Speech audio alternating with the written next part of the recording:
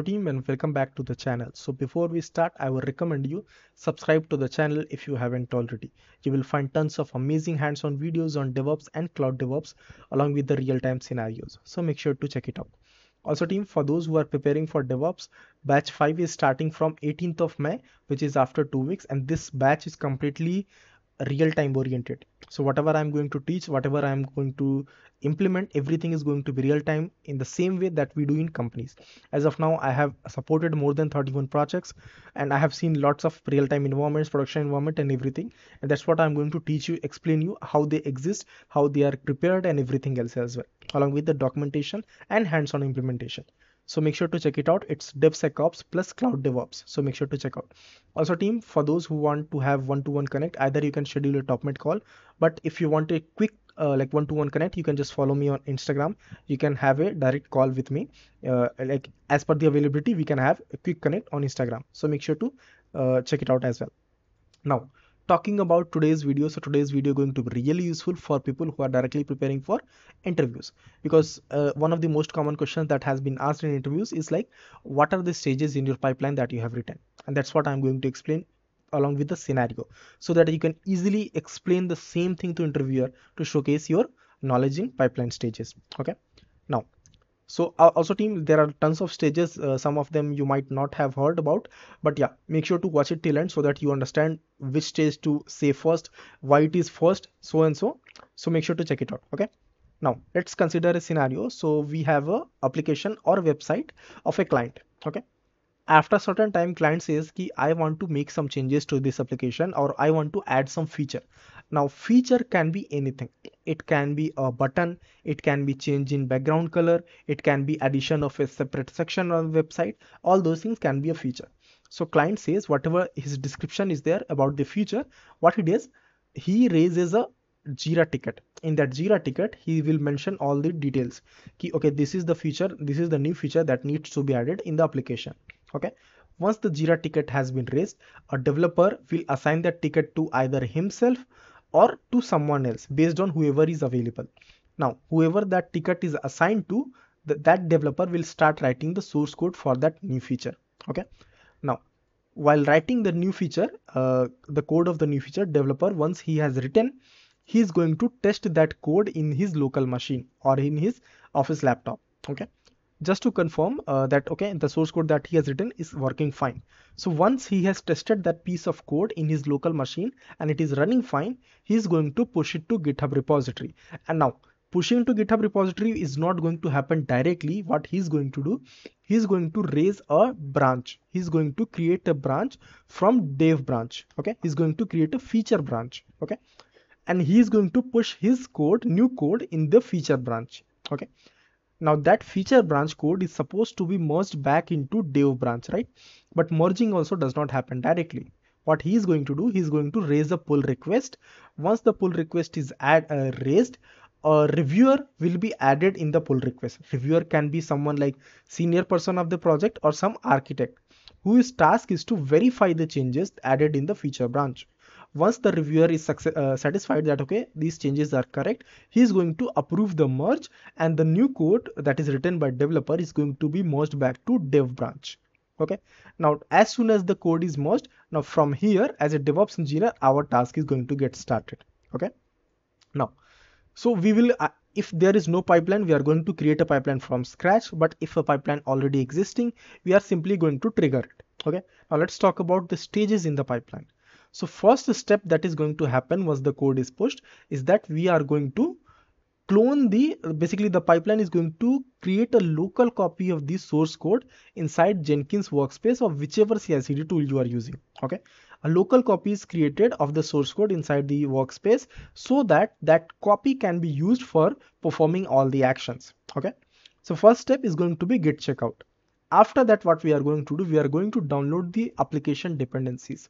What are dependencies? Dependencies are some supporting files that are needed to make sure that application runs well. Now, where exactly those dependencies are defined, right? So in case of Java based projects, we'll be having a file known as pom.xml which contains all the information about dependencies. Even a build tool, when we run the command to install dependencies, a build tool is going to check the dependent uh, pom.xml and download all the dependencies mentioned there. Similarly, if you are working with a Node.js based application, those dependencies are mentioned in a file known as package.json. If you are working with a .NET based project, those dependencies will be defined in the .csproj files. Okay.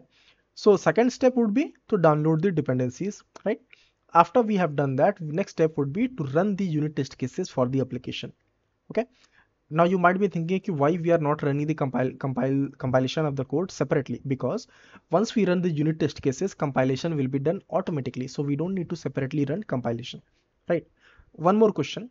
One more very important question is that key why do we need to run unit test cases before SonarQube and not after it? Because recently I saw some videos on YouTube people were just saying key first run SonarQube then run test cases. No it does not work that way now let me explain you why we should run unit test cases before SonarQube. Okay, so SonarQube is supposed to perform two tasks, code quality check and code coverage. Okay, now code quality check is basically used to find out issues in the code like bugs, code smell, vulnerabilities or any other issue in the source code that can be find out by just accessing the source code, right? SonarQube can do that. But for the code coverage, Sonar basically, you know, what is code coverage? Code coverage is basically uh, the amount the percentage of the code that is covered after running the test cases okay? So how does so SonarQube is going to find code coverage? So code coverage is found out once uh, once we have executed the test cases there is a report test cases report. That report is shared to SonarQube and based on that report it generates the code coverage. Now you can understand if there is no report how can SonarQube generate the uh, code coverage? Right so in order to make sure that we have the test cases report, test cases execution report, we first execute the test cases and then we run the SonarQube analysis so that once we execute the test cases, that report will be generated, which will be shared to SonarQube and then SonarQube can generate the code coverage. Okay, that's why we need to run test cases first. After the SonarQube stage is completed, we are going to perform vulnerability scan. Okay, that can be done using a Trivy tool. Trivy is like open source tool which can be used. So it is it, its task is to find out commonly known vulnerabilities in the application, in the application dependencies. Okay. So for that we can use Trivy. It's completely free and it's very use, easy to use. Okay. So basically, you know, uh, what kind of issues Trivy is going to find out CVE, which is short for com common vulnerabilities and exposures, which are publicly known. So those kind of issues in our dependencies, Trivy is going to find out okay? For example like if any dependencies that we are going to use if it is outdated if it is vulnerable so those kind of issues will be found out by Trivy and Trivy will suggest uh, suggest us uh, like uh, measure for it. Measure means like what we can do to avoid this right? So that also will be provided by Trivy after that we are going to build or package the application so now basically when I say build the, or package the application, what we do, we package dependencies along with the application to generate a executable application artifact. Now, for example, artifact can be in different formats. For example, if you are working with Java based application, artifact will be in jar or war format, right? Let's say I ran uh, like developer pushed the source code to GitHub. We ran the pipeline and we'll build the application. We got the artifact in jar format, right?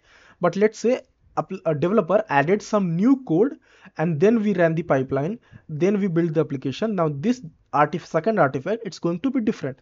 Basically there are two versions of the artifact right? So how do we manage these versions? So for that we have a tool known as nexus repository.